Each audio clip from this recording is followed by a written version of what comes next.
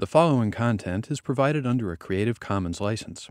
Your support will help MIT OpenCourseware continue to offer high quality educational resources for free. To make a donation or view additional materials from hundreds of MIT courses, visit MIT OpenCourseware at ocw.mit.edu. Let's start. Any questions? We've been gradually building up thermodynamics.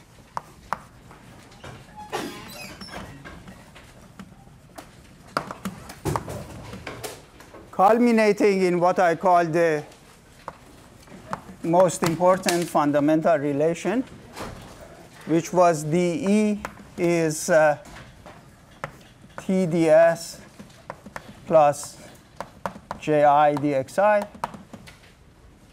And essentially we said that this was some statement of conservation of energy where there's a heat component that goes into the system and there's a work component. And actually, we ended up breaking the work component into a mechanical part and a chemical part, which we wrote as mu alpha dn alpha.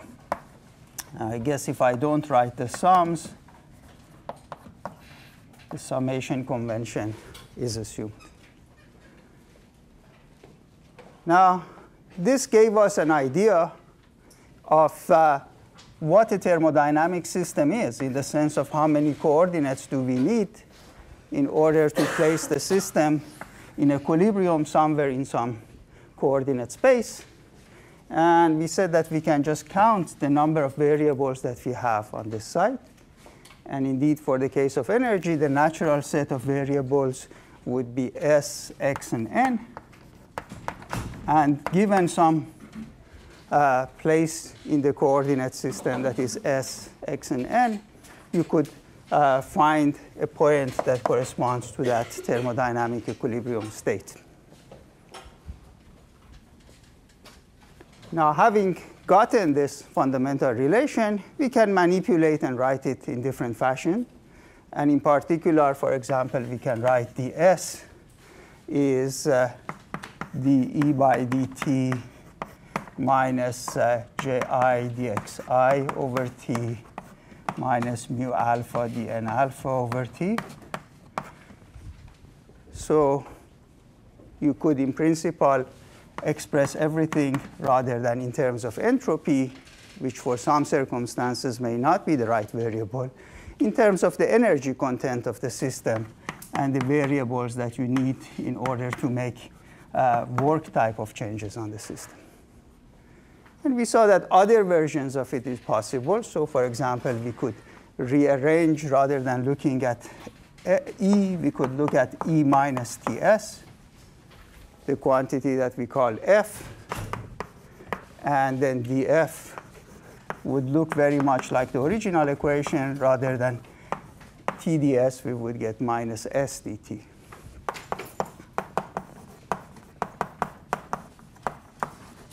And clearly, for this quantity f, the natural variables are t, x, and n. And there were other types of these functions that we constructed. So basically, at this stage, we have a formula that tells us how to navigate our way in the space of things that are in equilibrium. And by taking various derivatives of equilibrium uh, functions with respect to each other, we can express other ones. And via this methodology, we can relate many different things to each other and have mathematical relations between physical observables. So following up on that, we then ask what are some other mathematical forms that we can look at. And one set of forms followed from extensivity.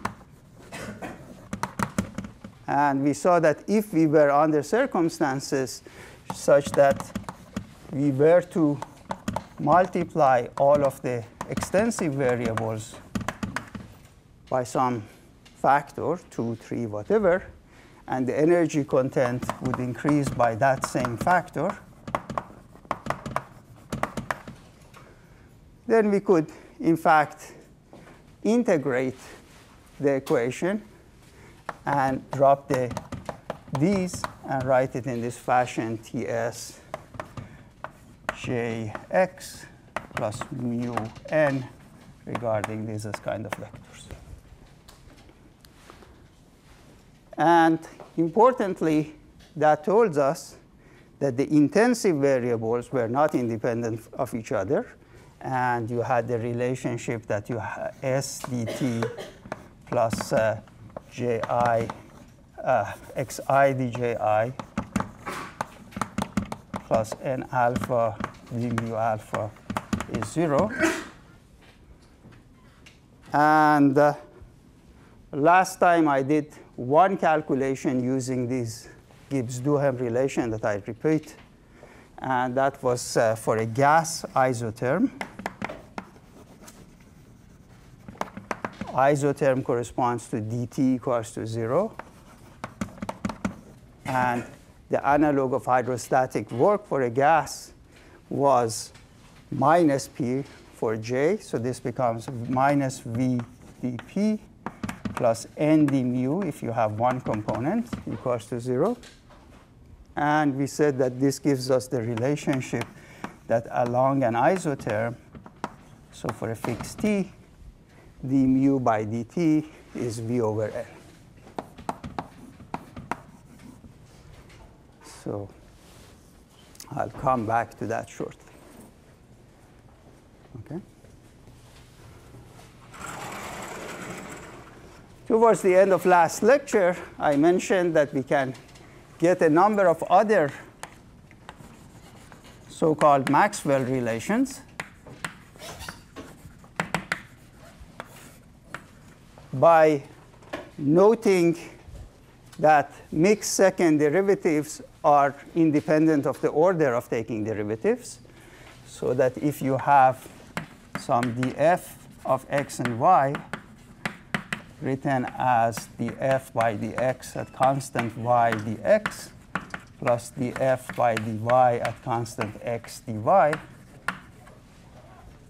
then the order of the second derivatives, which would be obtained by taking either a derivative of the first term with respect to y or the second term with respect to x, doesn't matter which order.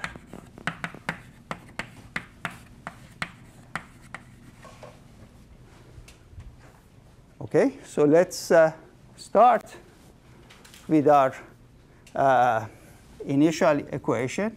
And for simplicity, let's think of uh, cases where we have a fixed number of particles so that we can write dE as uh, TdS plus Ji dxi. Okay. So this looks like this dF that I wrote before for you. And I can identify temperature as uh, dE by ds at constant x and each one of the forces ji as the E by dxi at constant s and all of the j's that are not equal to i kept fixed. And then since the second derivative is irrespective of order, I can form the second derivative with respect to the combination sxi in two different fashion. I can either take a derivative over here. I already have derivative with respect to s giving me t. So I will get dt by dxi essentially at constant uh, uh, s. Or I can take the derivative of this object. I already have the x derivative, so I take the s derivative so I have dji with respect to s at constant x. Okay? So this is an example of a Maxwell relation. And just to remind you, we can always invert these derivatives. So I can invert this and say that actually, if I had wondered how the entropy changes as a function of a force, such as pressure, at constant x, it would be related to how the corresponding displacement to the force changes as a function of temperature. So you would have a relationship between some observables, such as uh, uh, how the length of a wire changes if you change temperature rapidly, and how the entropy would change as a function of uh, pressure or corresponding force, whatever may be. Now, what I would like to remind you is that the best way to sort of derive these relationships is to reconstruct what kind of second derivative or mixed derivative you want to have to give you the right result. So for example, say somebody told me that I want to calculate something similar, ds by dj,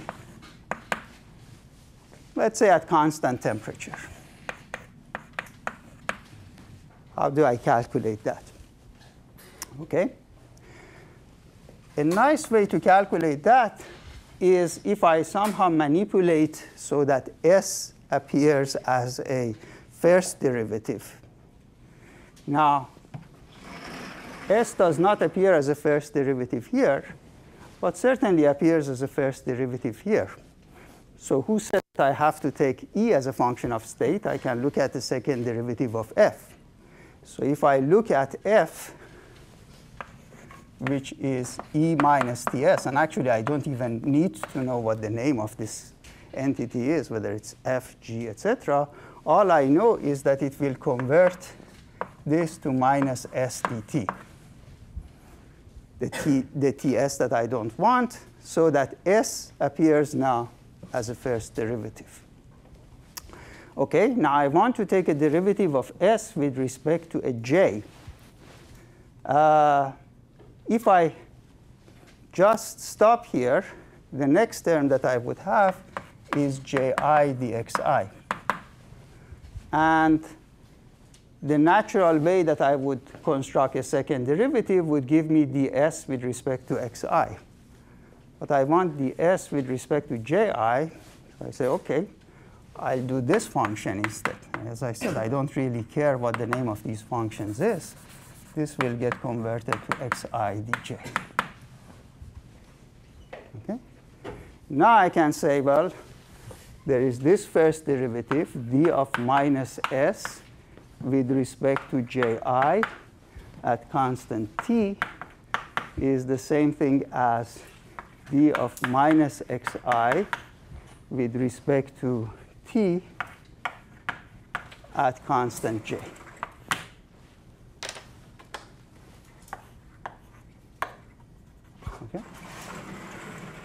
So I can get rid of the minus sign if I want, and I have the answer that I want. So it is dxi by dt at constant uh, j, uh, at constant, uh, yeah, t, j. Okay? And you can go and construct anything else that you like also. Let me, for example, try to construct uh, this entity. We already calculated, right? So let's see what can I say about d mu by dp at constant temperature, and I want to calculate that via a uh, uh, Maxwell relation. All right.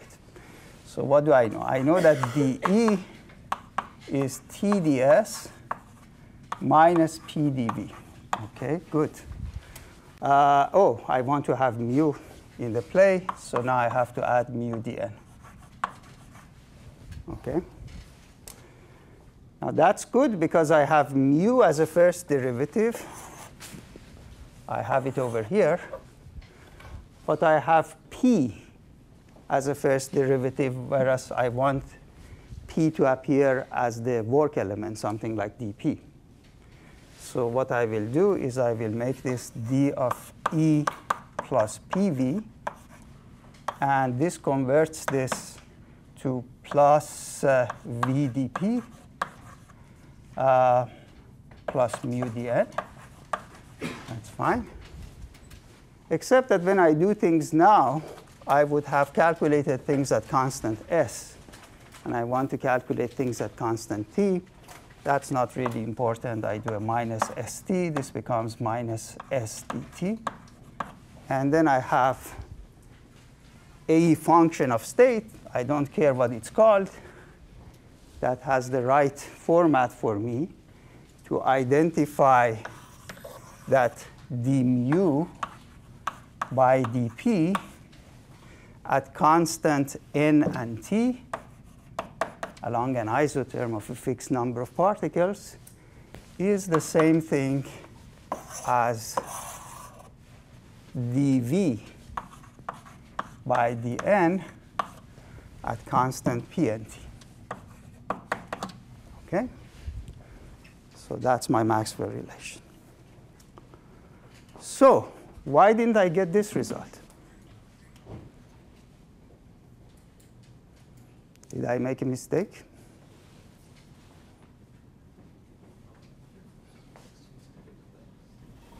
Louder. Yes, this is valid for extensive system. I used extensivity in derivation of this. And here, I never used extensivity. But if I have a system that I tell you its pressure and temperature, how is its volume related to the number of particles? I have a box in this room. I tell you pressure and temperature, they're fixed. If I make the box twice as big, number of particles, volume will go twice as big. So if I were to apply extensivity, I would have to conclude that this is the same thing as V over N, and I would be in agreement with what I had before. Okay? Any questions? Yes? Okay, actually constraint of constant P and T is important because we said that uh, there is a kind of Gibbs-Duhem relation. And the Gibbs-Duhem relation tells me, for the case of the gas, that uh, S dt minus uh, V dp uh, plus n d mu is uh, 0. And that constraint is the one that tells me that once you have set p and t, which are the two variables that I have specified here, you also know mu, that is, you know all the intensive quantities. So once you set p and t, the constraints over there, you really, the only thing that you don't know is how big the system is. And that's what's the condition that I used over here. That it is only, so let me reemphasize it this way. I will write dv by dn is the same thing as v over n, only if I have p and t here. If I had here p and s, for example, I wouldn't be able to use this.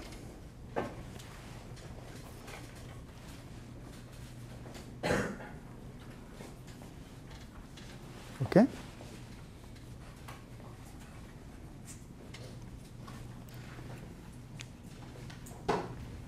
Now, I was going to sort of build this equation to say that look at the elements of this. This part we got from the first law. The temperature we got from the zeroth law. And this we got from the second law, which is correct, but it leaves out something, which is that uh, what the second law had was things going some particular direction. And in particular, uh, we had that for certain changes that I won't repeat, uh, the change in entropy had to be positive. So when you are in equilibrium, you have this relationship between equilibrium state functions. But in fact, the second law of thermodynamics tells you a little bit more than that. And so the next item that we are going to look at is what are the consequences of having underlying this equality between functions of state, some kind of an inequality about certain things being possible and certain things not being possible. And that relates to stability conditions.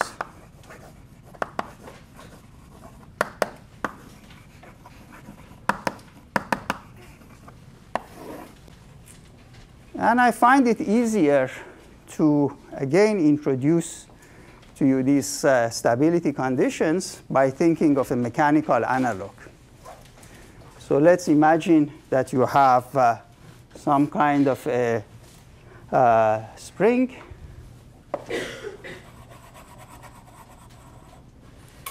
And that this spring has some kind of a potential energy that I will call phi as a function of the extension x.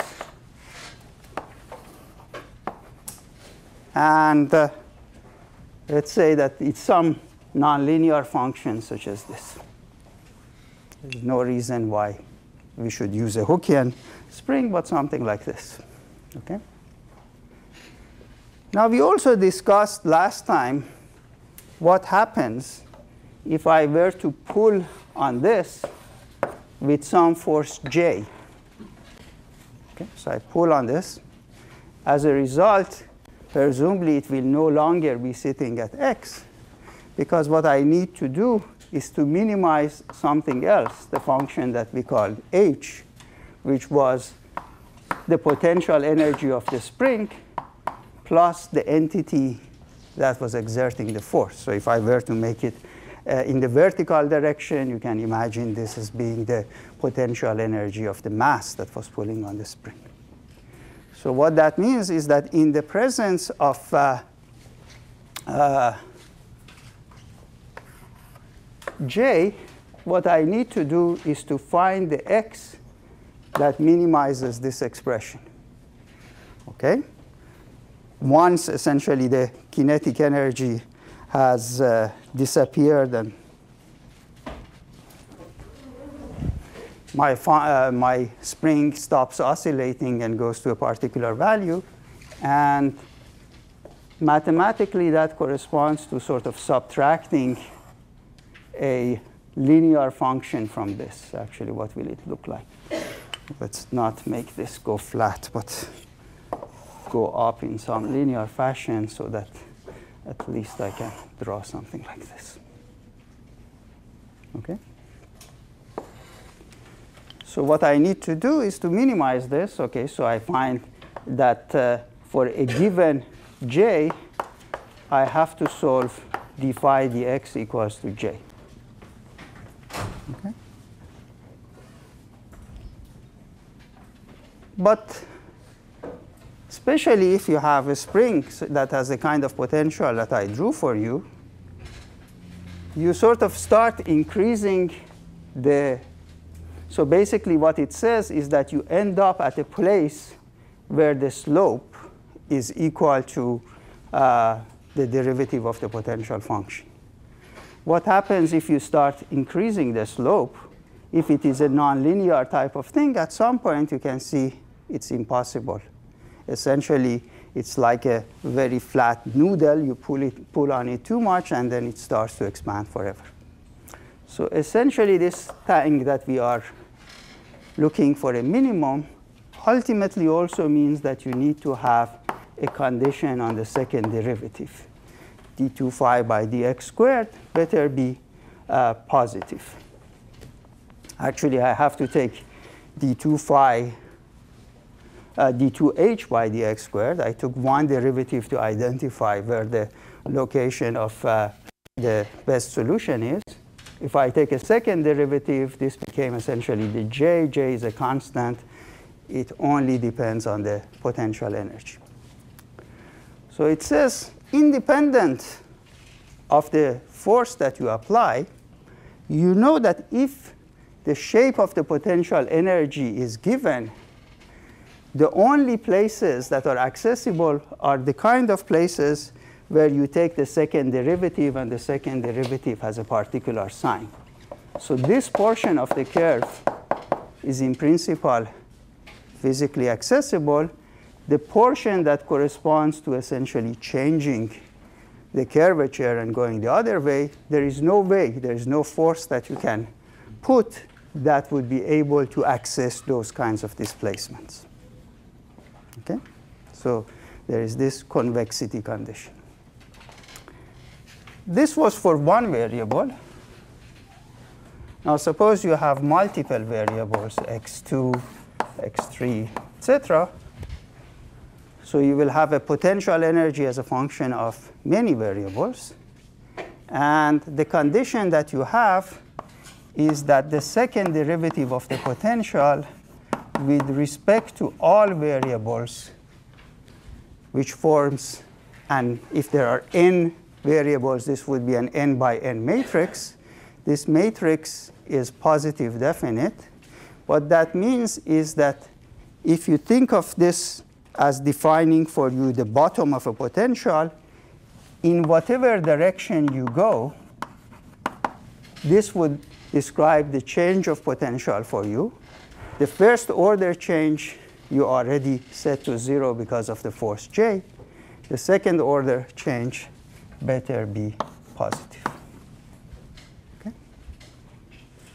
So this is the condition that you would have for stability quite generally mechanically. And again, this kind of came from the fact that if you were to exert a force, you would change the energy by something like J delta X, which is certainly the same thing that we have here. This is just a one component that I have been focusing on. And so ultimately, I'm going to try to generalize that to this form. But one thing that I don't quite li like in this form is that I'm focusing too much on uh, the displacements. So this is written appropriately is in this form. And we have seen over here that whether or not I express things in terms of uh, the displacements or uh, in terms of entropy, temperature, conjugate forces, etc., these are all equivalent ways of describing the equilibrium system. So I'm going to do a slight manipulation of this to make that symmetry between forces and displacements apparent. So the generalization of this expression that we have over here is that once I know the potential energy, the force in this multi-component space is df by dxi. So in this multi-component space, I have some j, and there is a corresponding uh, x. They are related by this. Now, if I were to make a change in j, there will be a change in the position of the equilibrium, and I can get that by doing a corresponding change in the derivative. The corresponding change in the derivative is the second derivative of phi with respect to uh, xi, xj, delta xj, sum over j. So what I'm saying is that this is a condition that relates the position to the forces if I make a slight change in the force, there will be a corresponding slight change in the position. And the changes in the position and the force given by this equilibrium condition are related by this formula. Okay? Now you can see that that sum is already present here.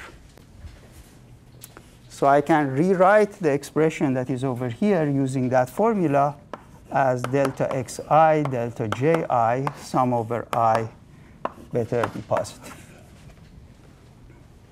Okay.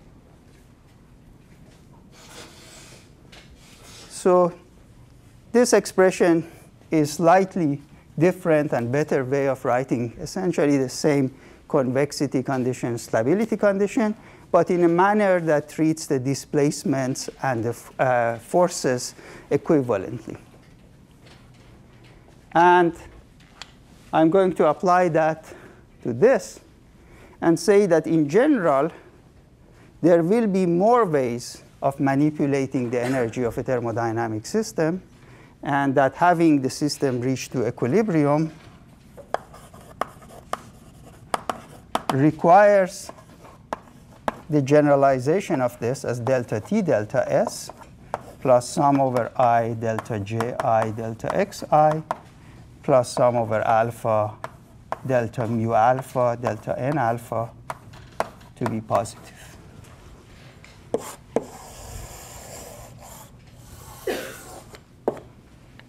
Okay?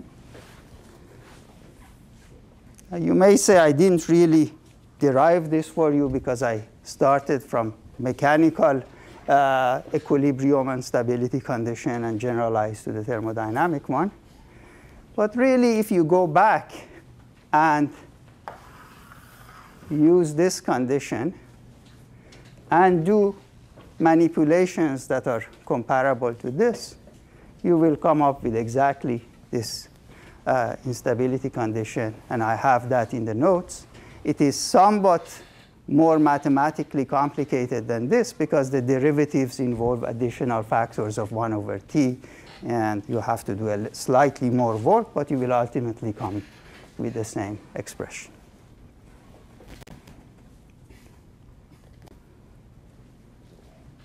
Okay?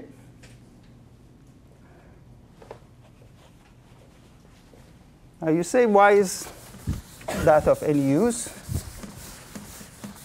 It is possible that you've already seen a particular use of this expression. Uh, let's look at the case of a gas. One component, you would say that the condition that we have is that delta T delta S minus delta P delta V plus delta mu delta N has to be positive. Okay? Let's even be simpler. Look at the case where delta t is 0, delta n equals to 0, which means that I have a fixed amount of gas at a particular temperature. So I could have, for example, a box in this room, which is in equilibrium at the same temperature as the temperature of the room, but its volume I'm allowed to adjust so that its pressure changes. So in that process, at a particular temperature, I will be uh, finding a particular curve in the pressure volume space. And the reason that I drew this particular way is because I have the condition that minus dp dv better be positive. So that if I have p as a function of v, then I know that dp is uh, dp by dv delta v, and if the product dp dv is positive, then this derivative dp by dv has to be negative. This has to be a decreasing function. And another way of saying that is that the compressibility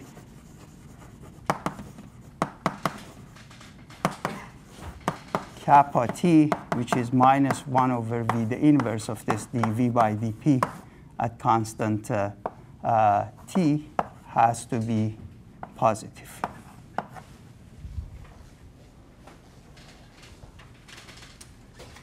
Okay? So this is a curve where dp by dv is negative. Fine, you say well, nothing surprising about that. Well, it turns out that if you cool the gas, the shape of this isotherm can change. It can get distorted.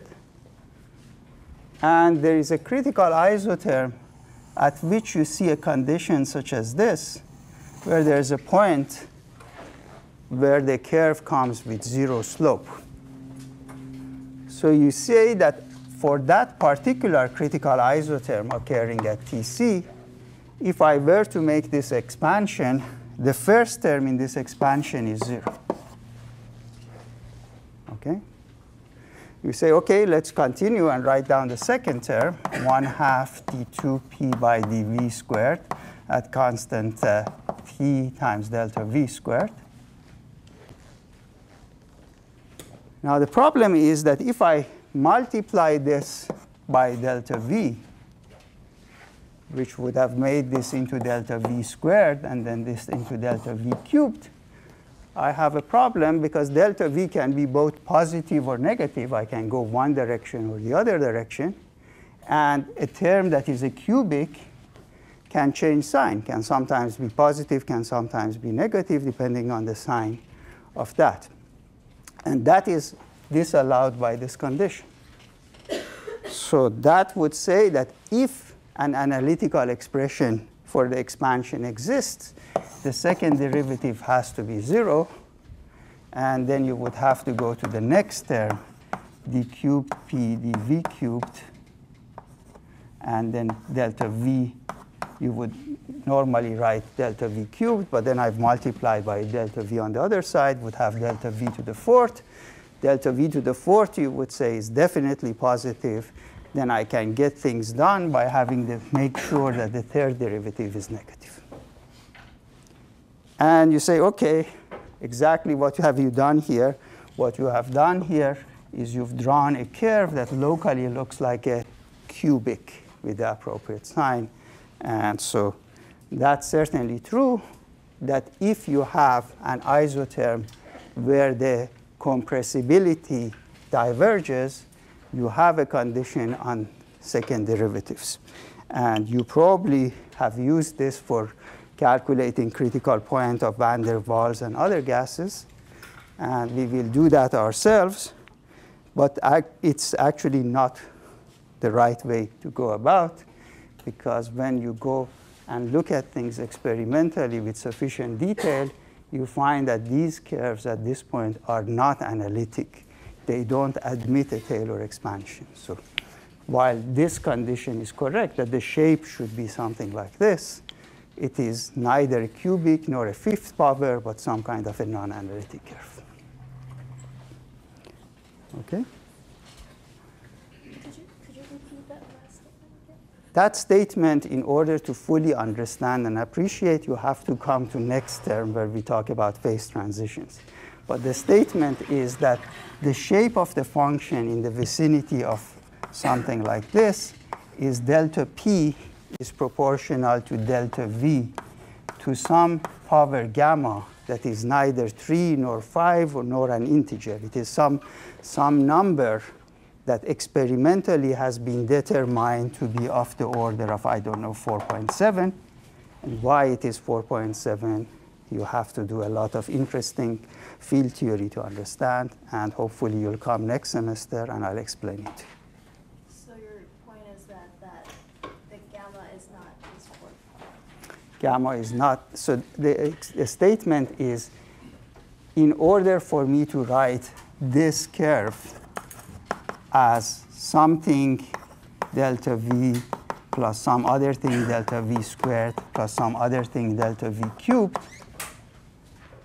which we do all the time, there is an inherent assumption that an analytical expansion is possible around this point. Whereas if I gave you a function y that is x to the 5 thirds around x of 0, you cannot write a Taylor series for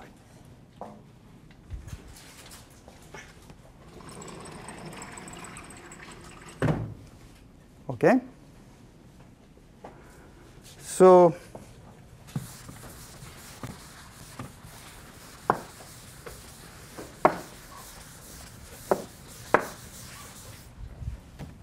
essentially this uh, stability condition tells you a lot of things about signs of response functions.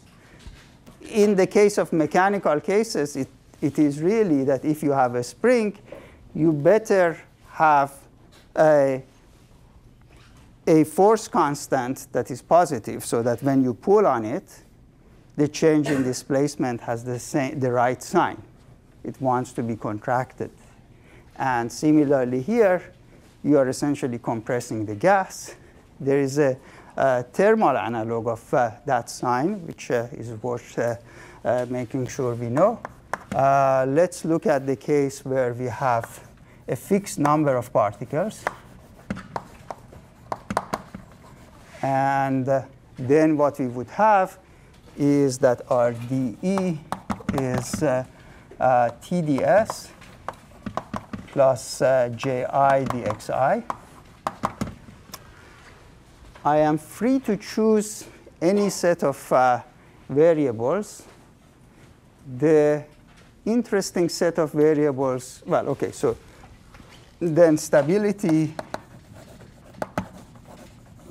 implies that delta t delta s plus delta ji delta xi with the sum over i is positive. Now I can take a look at this expression and choose any set of uh, variables to express these changes in terms of. Uh, so I'm going to choose for my variables temperature and xi. You see, in this, the way that I've written it here, S, T, J, X appear completely equivalently. I could have chosen to express things in terms of t, t, uh, S and J, T and J, uh, S and uh, X, but I choose to uh, use T and X. Okay? All right, so what does that mean? It means that I write my delta S in terms of ds by dt at constant x dt plus ds by dxi at constant t and other xj not equal to i delta xi. All right. I also need an expression for delta ji here. And so my delta ji would be dji by dt at constant x delta t plus dji with respect to xj at constant t an appropriate set of j's uh, delta x i uh, delta x j.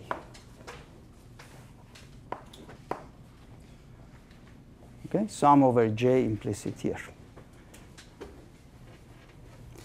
I substitute these delta S and delta J in the general form of the stability condition to get constraints applicable to combinations involving delta T and delta X. So I have to multiply delta S with delta T. I have to multiply delta Ji with delta Xi here. Yes. So here, um, J is not equal to I, and which one is J? Uh, Partial S. Okay. So let's say that I have S that is a function of, uh, uh, okay, I have x1 and x2, right? So here I would have derivatives ds by dx1 times delta x1 I would have derivatives ds by dx2 times delta x2. In both cases, t is kept fixed. In this case, additionally, x2 is kept fixed. In this case, additionally, x1 is kept fixed. That's all.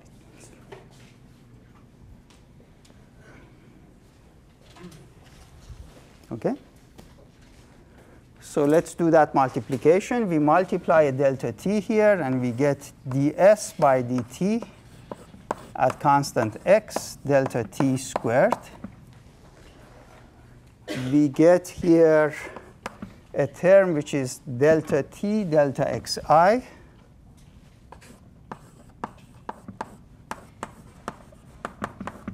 multiplying ds by dxi at constant t and the others that I don't bother to write.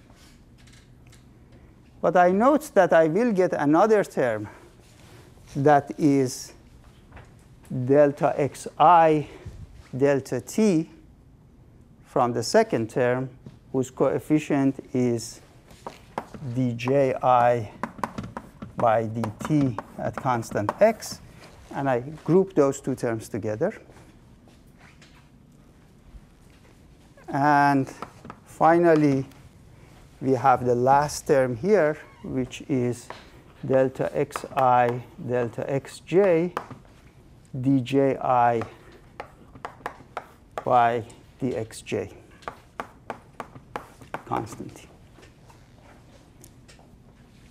And the constraint for all of these stability conditions that I have written, I have to be in the minimum of a potential. Any deviation that I make better lead to an increase in this combination, which is kind of equivalent to being at the minimum of some kind of potential energy. If you do some manipulations, it is also equivalent to being at the maximum of some entropy function. Okay? Now let's uh, look at that manipulation a little bit. Now, I happen to know that this form will simplify a little bit, and that's why I chose this combination of variables. And the simplification that will happen is that this entity is 0. So let me show you why that entity is 0. And uh, that relies on one of these uh, Maxwell relationships that I had. So let's find the Maxwell relation that is applicable to ds by dxi at constant t, which is what I have over here. OK, let's again start with dE being tds plus ji dxi I'm at fixed number of particles. I don't need to write the other term, udn. Uh, unfortunately, here s is not a first derivative. So what I will do is I will look at e minus ts. That's going to turn this into minus s dt. Uh, good. ji dxi is exactly what I want because this will tell me something about the derivative in this fashion, ds by dxi at constant t is equal to what? It's taking the things in this fashion, which is dji by dt at constant x. Good. So I can see that the sum total of these two terms is 0. And that's exactly what I have here. So this is 0 by Maxwell relation.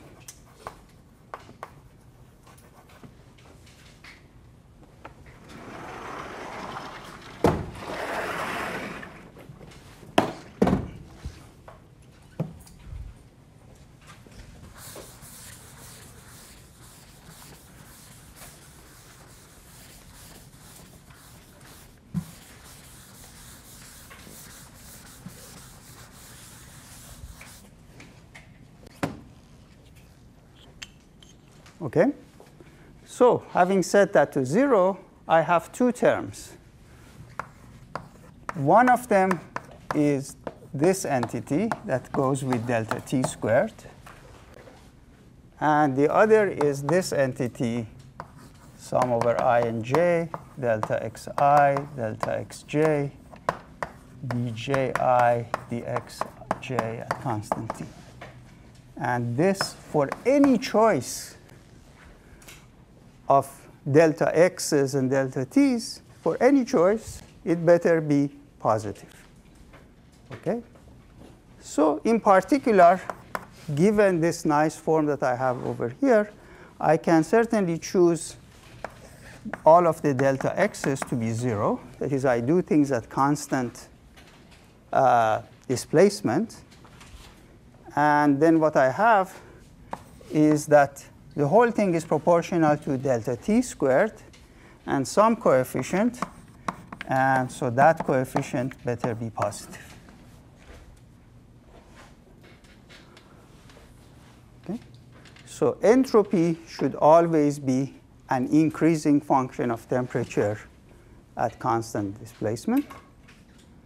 And the consequence of that is that heat capacity is measured at constant uh, displacement. So this is the heat capacity.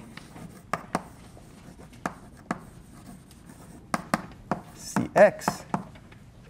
The general definition is you put some amount of heat into the system at constant displacement. So I have to specify the procedure by which heat is supplied to the system and see how much uh, this uh, temperature changes. I can, in principle, do this sufficiently slowly so I can measure precisely the changes in temperature infinitesimally. And then I can use the relationship between dq and reversible heat, so ds at constant x dt. And ds by dt at constant x is precisely the entity uh, that we have looked at.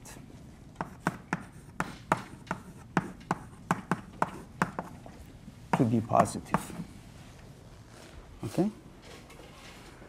So, in the same way that a spring is stable, if you pull on it, its extension should increase a little bit.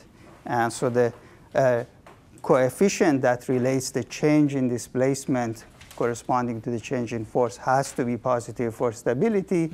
Uh, heat capacities must, be uh, must have this uh, positivity in the sense that if you uh, add heat to a system, its temperature should go up. If it went the other way, it would actually also violate the second law of thermodynamics.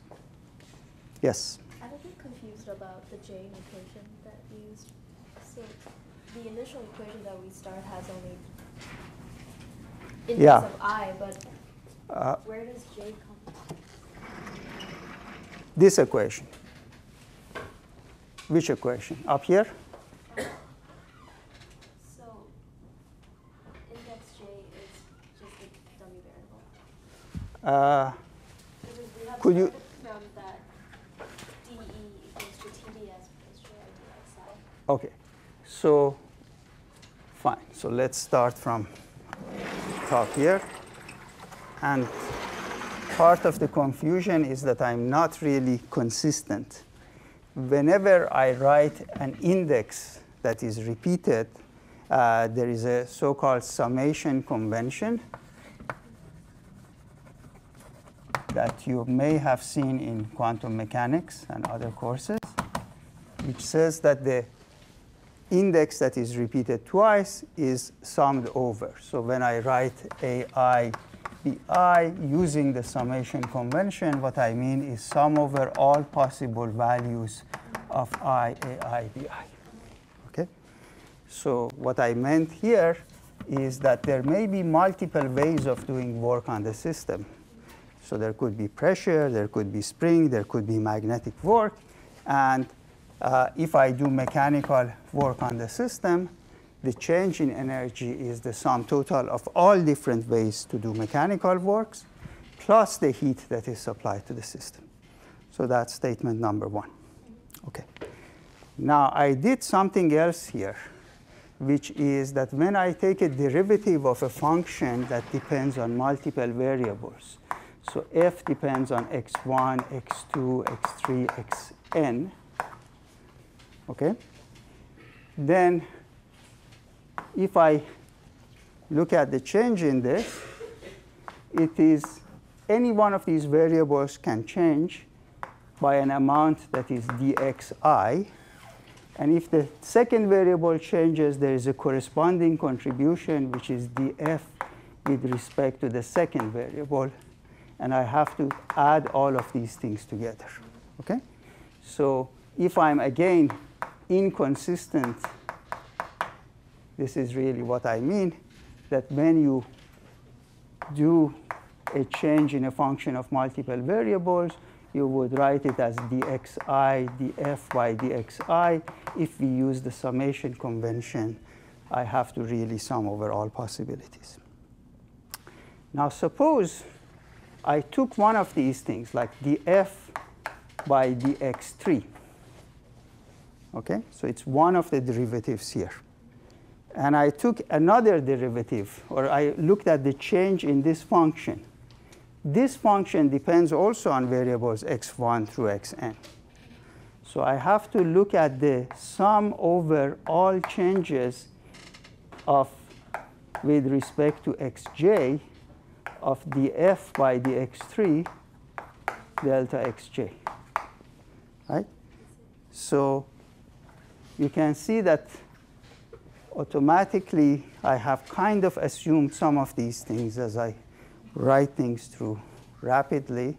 And uh, if it is not clear, you have to spend a little bit of time writing things uh, uh, more in detail because it's after all kind of simple algebra. Yes, did I make another mistake?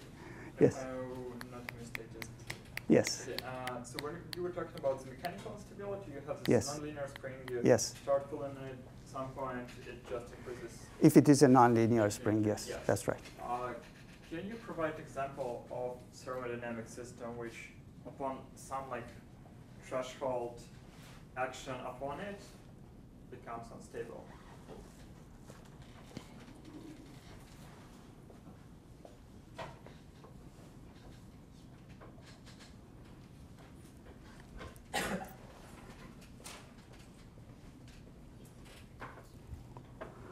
Okay. Uh, I think I more or less had that example. Let's try to develop it a little bit further.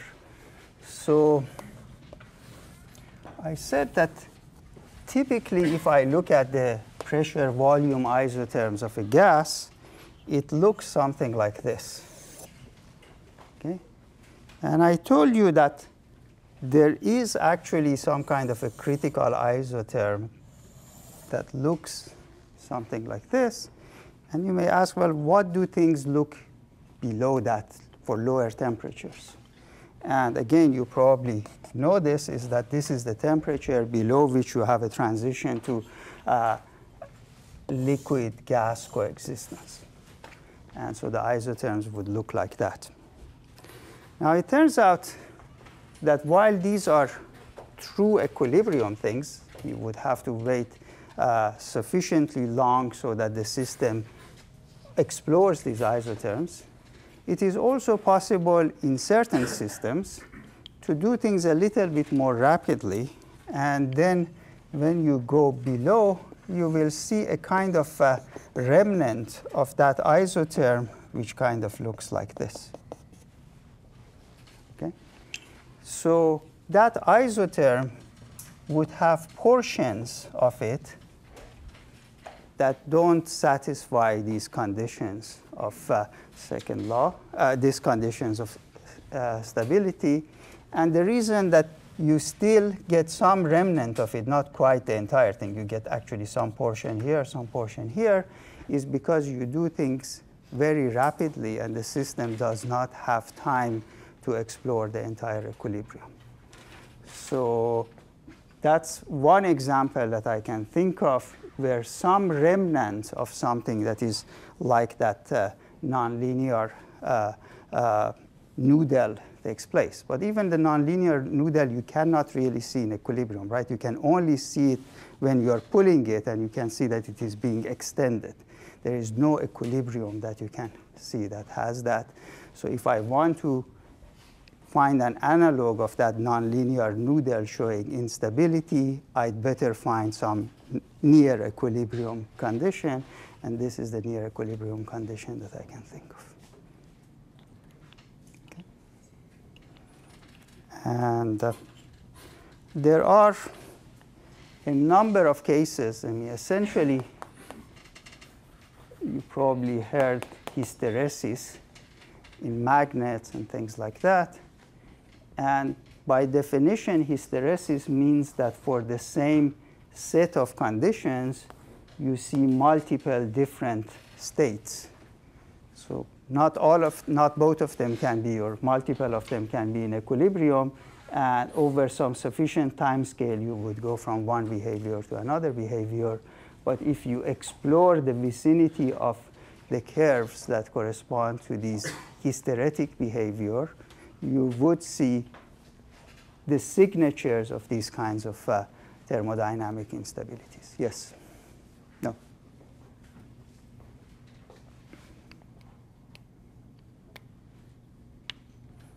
Okay?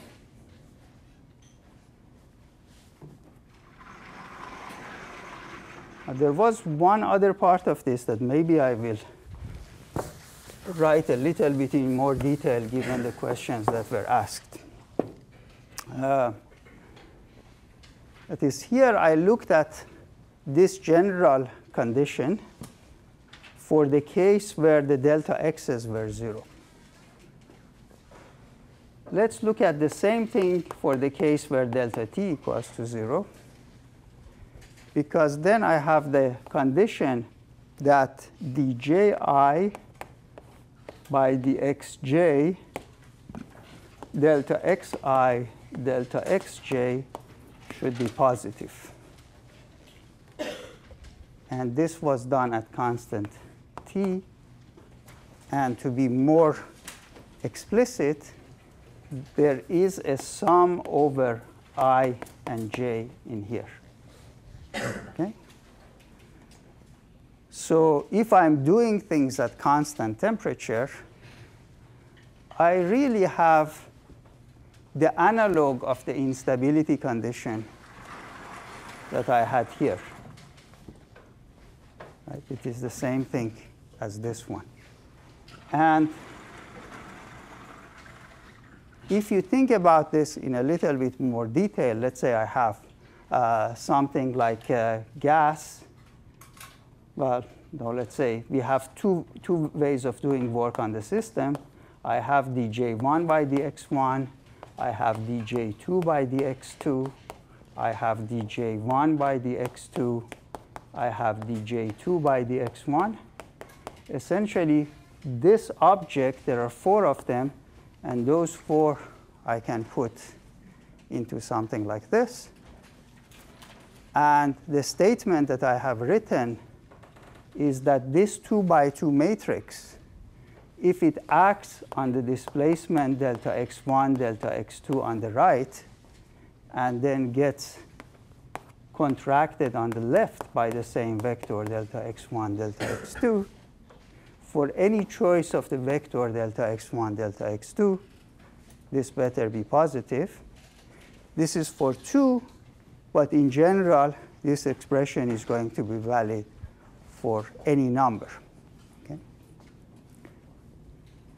Now, what are the constraints that a matrix must satisfy so that irrespective of the choice of these displacements, you will get a positive result. Mathematically, that's called a positive definite matrix.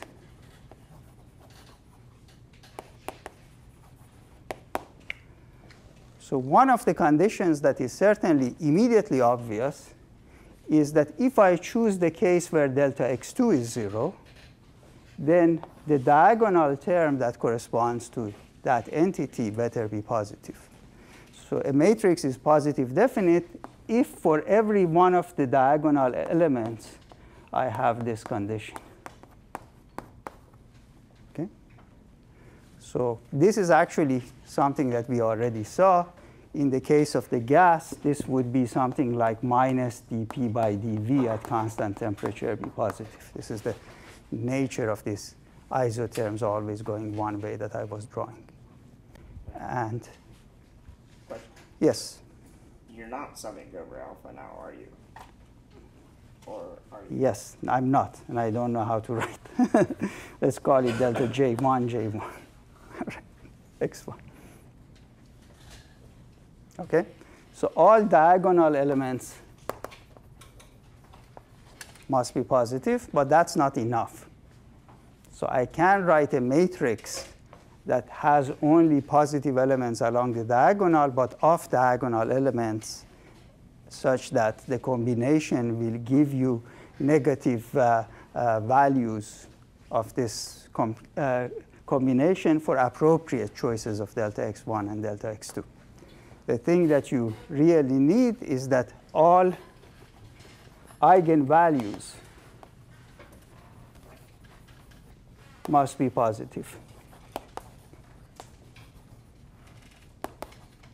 It is not that easy to write down mathematically in general what that means in terms of uh, uh, multiple response functions. That's why this form of writing is much more compact and effective. It basically says no matter what combination of elements you choose, uh, you are at the bottom of the potential. You should not be able to uh, go away from it.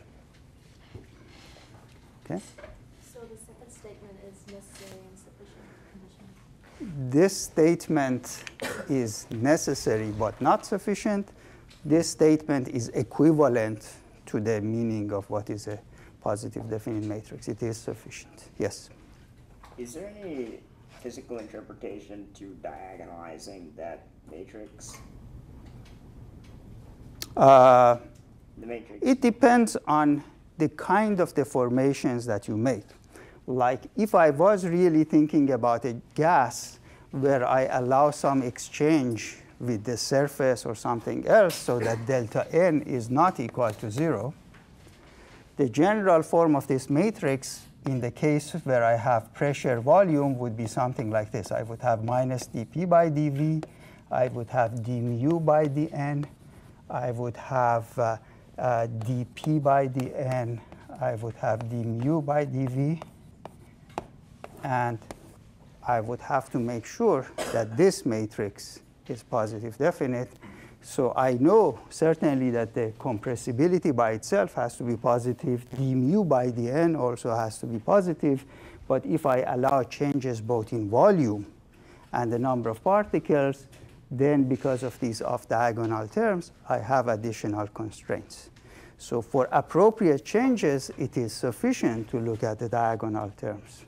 But for the entire set of possible transformations, it's not. Yes?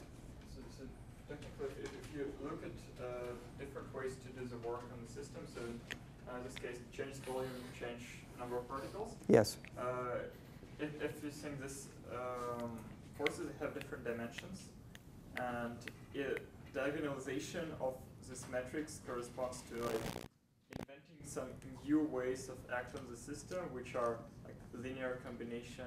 Yes. So always like change volume a little and change particles. Change the number of particles, yes. And this, I guess, pretty weird manipulations in, in terms of like how to physically explain what is diagonalization matrix. Okay, I mean, one, there is a question of dimensions and there's a question of amount. So maybe what you are worried about is that uh, if I make one of them volume and the other temperature, uh, pressure, one is extensive, one is intensive, and the response functions would have to carry something that is proportional to size. But then there are other conditions, let's say, where all of the variables are intensive, and then it's moving around in the space that is characterized, let's say, by pressure and chemical potential from one point to another point. And uh, uh, there is some generalized response that you would have depending on which direction you go to. So essentially, I could certainly uh, characterize various thermodynamic functions in this space, p mu. And what I know is that I cannot write any function in this two parameter space that would be consistent with the thermodynamic principles of stability. I have to have some kind of a, Uh, uh, convexity. So certainly what typically, let's say, again, going back to my favorite example here, what people do and what we will do later on is we specify that you have some particular, let's say, pressure and volume of an interacting gas, and there is no way that we can calculate the thermodynamic properties of that system uh, exactly. We try to construct a free energy as a function of these variables, okay? And that free energy will be approximate based on some ideas. And then we will see that that free energy that I construct in some places will violate the conditions of stability. And then I know that that free energy that I constructed, let's say on the assumption that the box that I have is uniformly covered by some material, that assumption is violated. And maybe what has happened is that part of the volume is a liquid and part of the volume is gas. So we will do precisely that exercise later on. We will choose a pair of variables. We will try to uh, construct a free energy functional. We make the assumption that the box is uniformly occupied with the gas at some density. Based on that, we estimate its energy, entropy, etc. We construct a free energy functional. And then we will see that that free energy functional violates the uh, compressibility condition at some point. So we know that, oh, we made a mistake. The assumption that it is uniformly occupying this box is wrong. So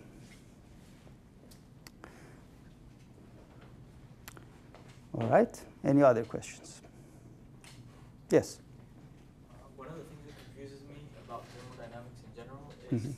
the, the limits of its applicability. Because it's, I mean, we think of it as being very general, like Mhm. to many different systems. Mhm. So sometimes I want to think of, like, I wonder if, example, if we had two bar magnets Mhm. and we had the north pole close to the south pole of the other, and I thought of the magnetic field in between, is it conceivable to think of that as a thermodynamic system? Uh, you can think of the magnet as a thermodynamic system. Uh, and you can certainly look at two of them, including the, the, electromagnetic field that surrounds them. And there would be some conditions, like if you were to jiggle these things with respect to each other, and you would maintain the entire thing in a box that uh, prevented the escape of electromagnetic waves or heat to the outside, that the, eventually this jiggling of the two magnets will lead to their coming to equilibrium, but at a higher temperature. Okay? So this is what I'm saying. So imagine that you have, let's for simplicity, think of, again, one big magnet that you don't move and one small magnet here that uh, you externally jiggle around, and then you remove the source of work, you wait for a while, and then you find that after a while, this thing comes to an equilibrium. You ask, where did that kinetic energy go to, right? You had some kinetic energy that you had set into this, and the kinetic energy disappeared, and I assume that there are conditions that the kinetic energy could not have escaped from this box. So the only thing that could have happened is that that kinetic energy heated up the air of the box, the magnet, or whatever you have. So thermodynamics is applicable in that sense to your system. Now, if you ask me, is it applicable to having a single electron spin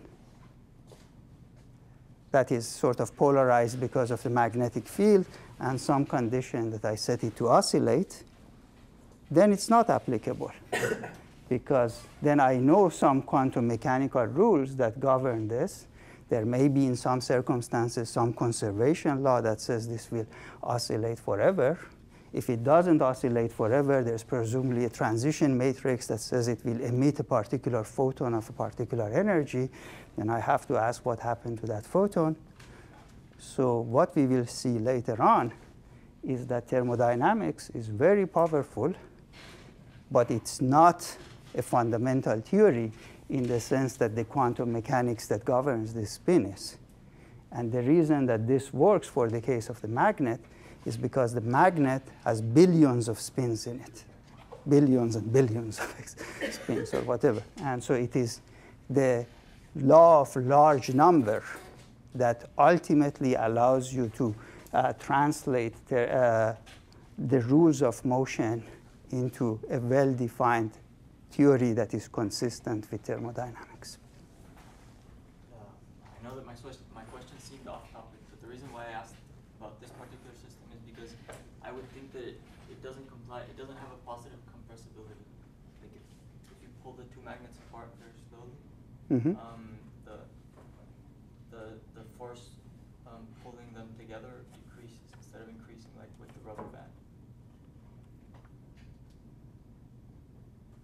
Uh, okay, I mean, it may be that you have to add additional agents in order to make the whole system work. So it may be that the picture that I had in mind was that you have the magnet that is being pushed up and down, and I really do put a number of springs that make sure there exists an equilibrium position.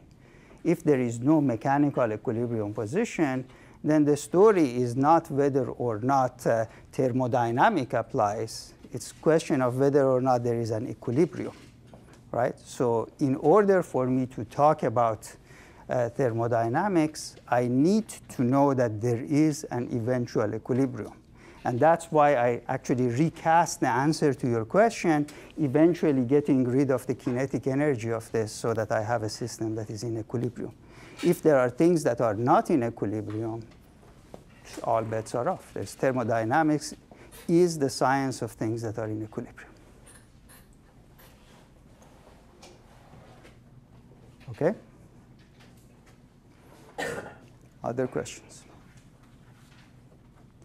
All right, so there is only one minor part of uh, our description, rapid survey of thermodynamics that is left, and that's the third law of thermodynamics. And uh, that has to do something with the uh, behavior of things as you go towards the limit of the zero of thermodynamic temperature. And uh, I think we will spend maybe 10, 15 minutes next lecture talking about the third law of thermodynamics. And probably from my perspective, that is enough time with respect to what the time we spend on the other laws of thermodynamics. Because as I will emphasize to you also, the third law of thermodynamics is in some sense less valid than the others. It's not certainly correct and it is valid. It is just that its validity rests on other things than what I was emphasizing right now, which is the large number of degrees of freedom. You could have a large number of degrees of freedom and a world that is governed by classical laws of physics, and the third law of thermodynamics would be violated. So it is a condition that we live in a world that is governed by quantum mechanics that tells us about the third law, as we will discuss next time. Okay?